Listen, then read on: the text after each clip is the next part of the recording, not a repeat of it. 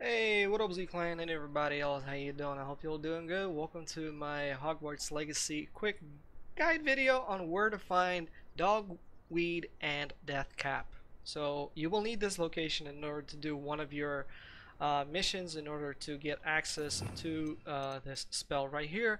I had issues on finding it because it was it was tricky to find it. So basically, all you gotta do is uh, open your map, right?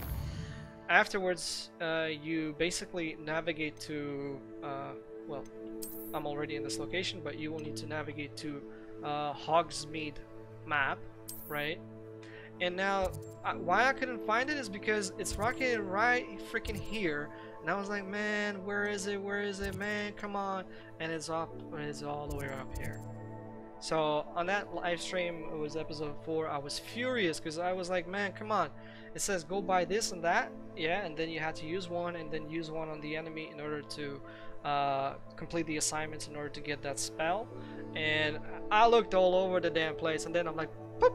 I'm like are you serious it's right freaking here man so if you had the same issue as me I know I feel dumb a little bit of not being able to spot it all the way up here but it is what it is it happened to me so it might happen to someone else so I hope this video helped you out on resolving this uh, issue with finding that location. So once again, uh, thanks all for watching. I hope you enjoyed the show, and if you did, you know the drill. Don't forget to hit that like, comment down below.